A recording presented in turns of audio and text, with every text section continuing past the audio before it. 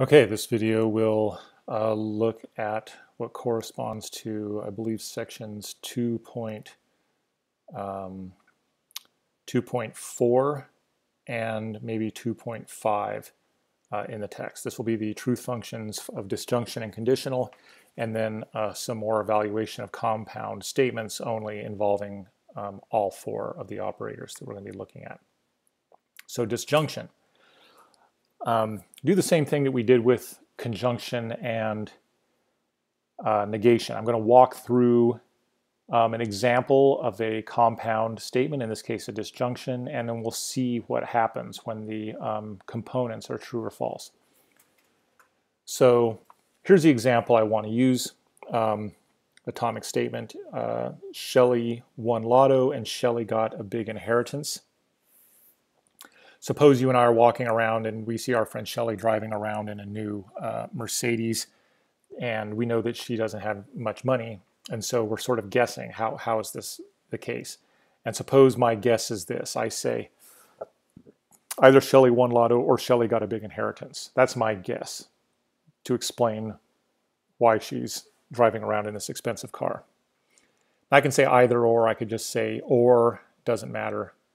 Um, let's just say or. Shelley either won lotto or got a big inheritance. That's my guess.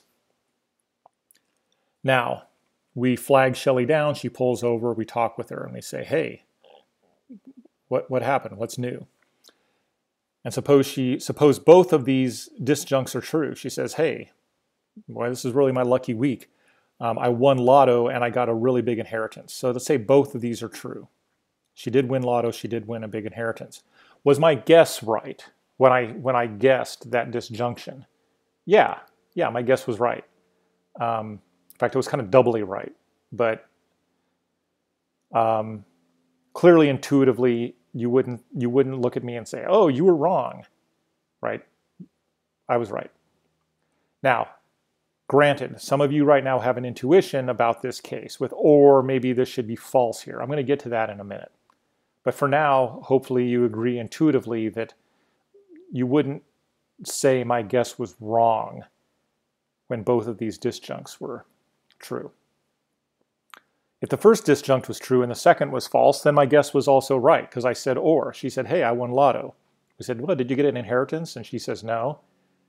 So only the first disjunct was true, you'd still say that my guess was good, right? So the disjunction is still true. Ditto if the first disjunct is false and the second is true. She didn't win lotto, but she got a big inheritance, right? She inherited a million dollars. But suppose they're, so that's true also. Suppose they're both false, right? Suppose she says, um, uh, I don't know, she, um, she's driving it around because uh, she's just test driving it at a lot, or um, someone gave her the car. It wasn't an inheritance, but you know, someone she knows just got rid of the car and gave it to her.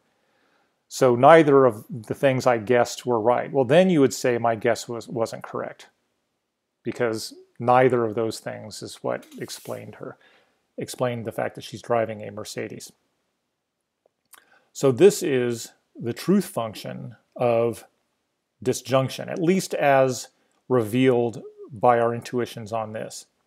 Now here's one of the reasons that disjunction is a little bit tricky. It's because in English, the word or and either or is actually ambiguous. It's one word, it's one statement operator, but it can symbolize two different truth functions. And that usually doesn't cause a problem for people who are communicating using natural language because Usually from context, it's obvious which one people mean. And so people just automatically, subconsciously use the right one. Okay, they don't realize that there's two different truth functions they're using, but everyone almost always selects the correct one, so people don't even notice that there's two different ones involved. Okay. Sometimes it's this function. Okay, and we're going to call this inclusive or because it includes the possibility that both disjuncts are true as making the disjunction true. Sometimes, though, when people say or, they mean to exclude this possibility here.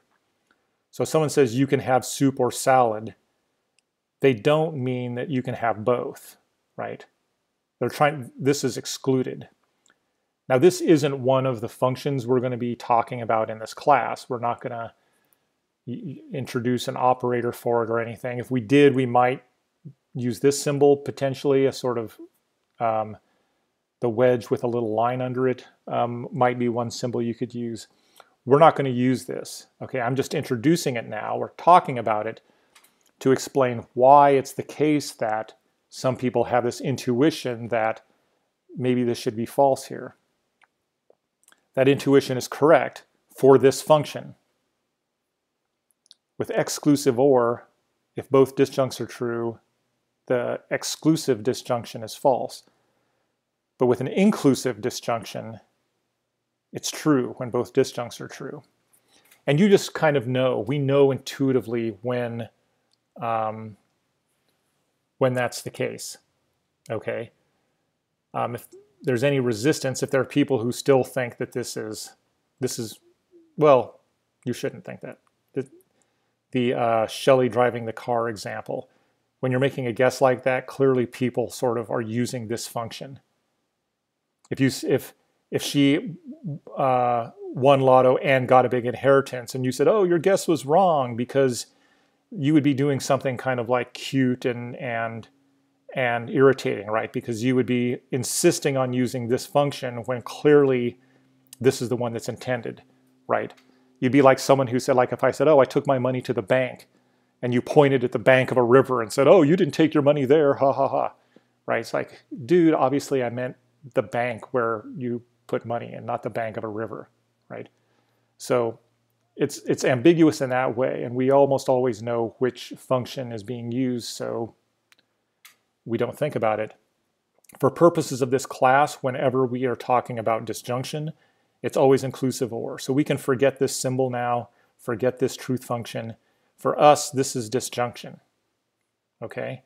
And you might say, well, hey, what if what if I want to talk about a case where we're excluding the possibility of both? Don't worry, we can still do that. I can express you can have soup or salad in this way. Right? If P is soup and D is salad, I can say P or D and not P and D, so not both. So I can just explicitly rule out both, and that gives you exactly the same truth function here. Don't worry about that now, but my point is just that we're not losing any uh, expressive power by just only keeping the inclusive disjunction as one of our operators in this class. Okay, so that's disjunction. Next up is conditional. And conditional is also a little tricky, not too much, but just like it was tricky in the in chapter one when it came to translating, it's also going to be a little bit tricky here. Um, here's here's the example I want to use. Um, two atomic statements you turn in all the homework. Now in our class, obviously there's no homework. Um, this is just a fictitious grading policy in a fictitious class. Um, but suppose in this class, suppose I'm teaching this fictitious class that has homework, and you come up to me and say, hey, can you tell me something about um, the grading policy? And I give you this conditional. I say, if you turn in all the homework, I'll give you an A in the class. Suppose I tell you that conditional. And now we want to see if I was lying or not. When, under what conditions was what I said true? Under what conditions was it false? Okay. Well, the class is over, and let's suppose the antecedent is true. You turned in all the homework. And then let's suppose the consequent is true. I gave you an A in the class. So the antecedent and the consequent are true. Is the conditional that I said, is that true? Well, yeah, obviously.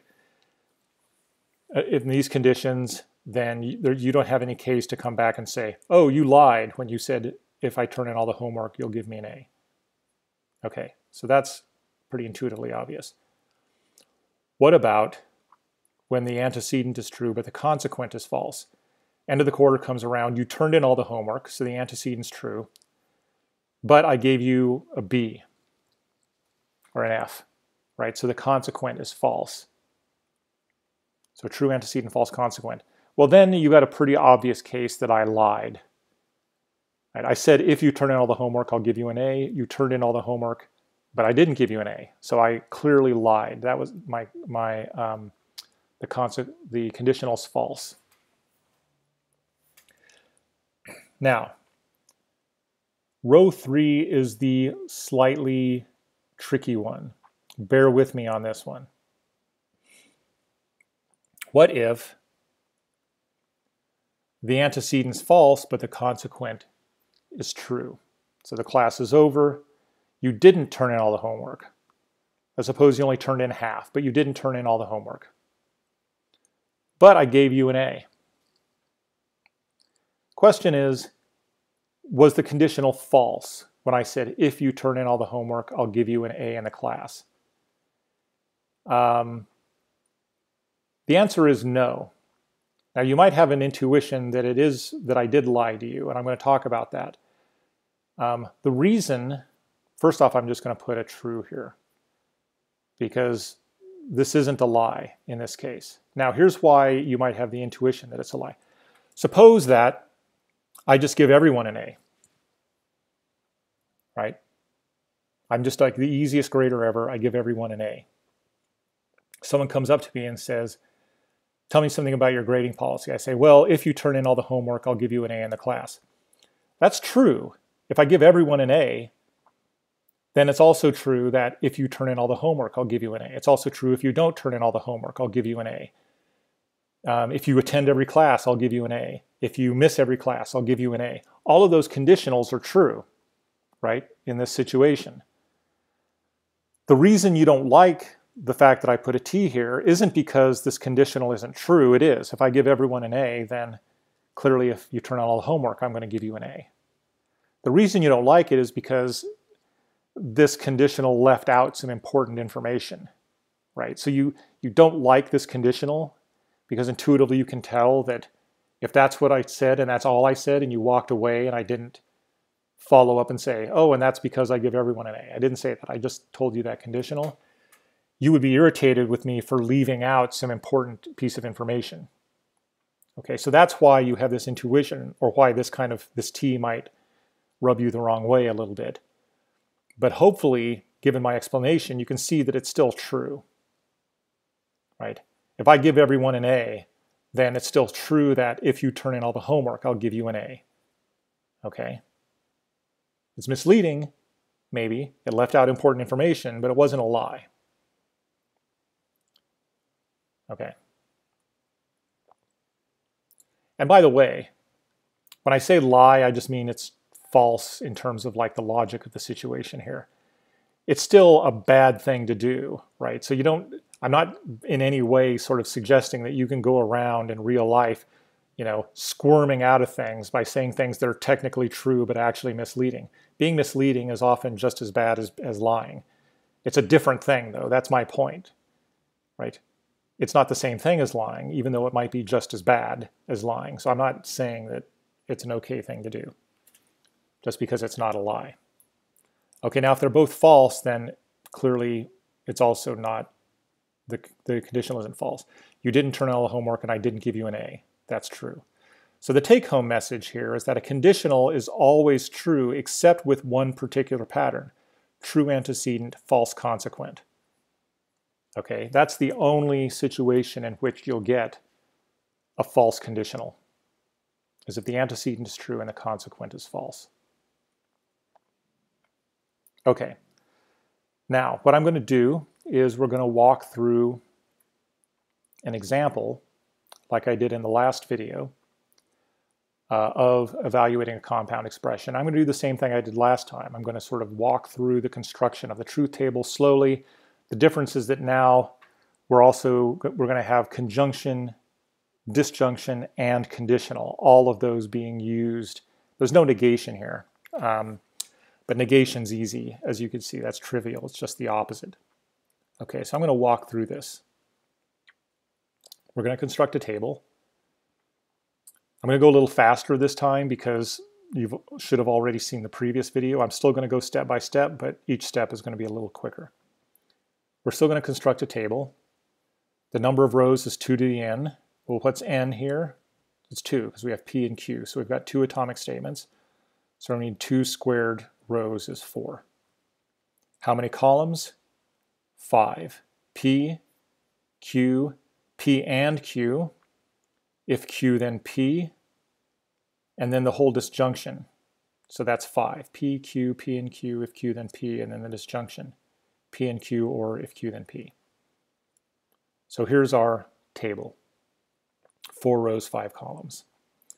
Step one, atomic statements up at the top in alphabetical order.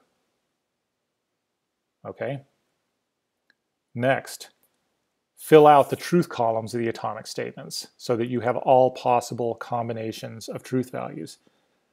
Um, and remember the way to do that, you go to the first top half T's, bottom half F's, move over by one row, alternate by groups of T's and F's half as big. By the way, if you do that procedure, the last atomic statement should always be alternating by one. True, false, true, false, true, false. If, that, if that's not the case, then something went wrong somewhere. Okay, next step.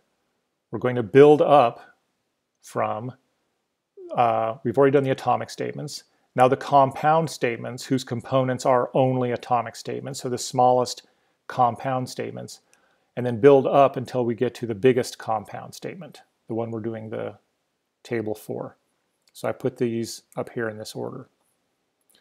And now we're just going to go through every cell in every truth column one by one. So first is here, P and Q. This is a conjunction, so I'm going to, here's the conjunction truth table. I'm going to just have this out here for this entire column. What are the two conjuncts, P and Q? So I'm making the first conjunct red, second conjunct blue. That's right here. Well, what is the conjunction?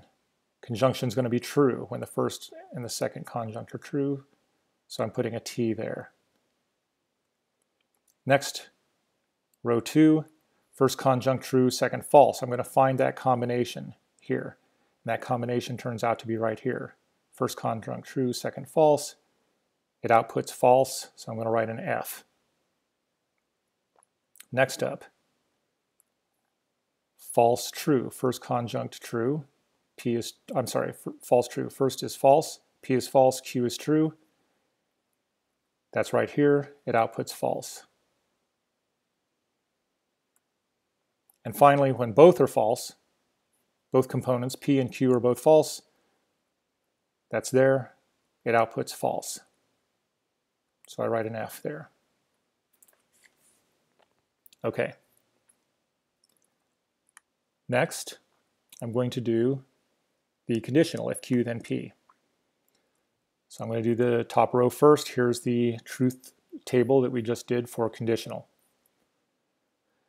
Antecedent is Q, consequent is P. So I'm going to make the antecedent red, consequent blue. Okay, so in row one, the antecedent is true, consequent is true. Antecedent true, consequent is true. It outputs true. So I'm going to put a T. Row two, Q is the antecedent in red, Antecedent is false, consequent is true. Where is that? Antecedent, false, consequent, true. It outputs true. Notice up here this is row 2 and down here this is row 3. That doesn't matter. You're not looking for the same numbered row. What I'm looking for is the row. Q is the antecedent, P is the consequent. I'm looking for the row where the antecedent is false and the consequent is true, because that's what's happening on this row. Antecedent is Q. Q is false. Consequent is P. P is true. So I'm looking for the row that has a false antecedent, true consequent. False antecedent, true consequent outputs true. So I'm putting a T here. Now I'm going down to the next cell. Here, the antecedent Q is true, consequent is F. That's going to be here. Antecedent true, consequent F outputs F. And then finally, the last row, both antecedent and consequent are false. That's going to be right here. And it outputs false. Okay, done with that. Next up will be um, the disjunction. So I'm going to do that. I'm going to remind us of the disjunction truth function down here. First disjunct is this one, second disjunct is that one. So I'm going to make it red. First disjunct true, second disjunct is true. The output is true. Move down one. Here we have first disjunct false, second true. That's right here. First false, second true. It outputs true. Next one, first disjunct false, second disjunct false. That's going to be right here. First false, second false. It outputs false. Bam. Finally, we have first disjunct false, second true. That's going to be right here. First false, second true, it outputs true. Okay, and there's our truth table. Now,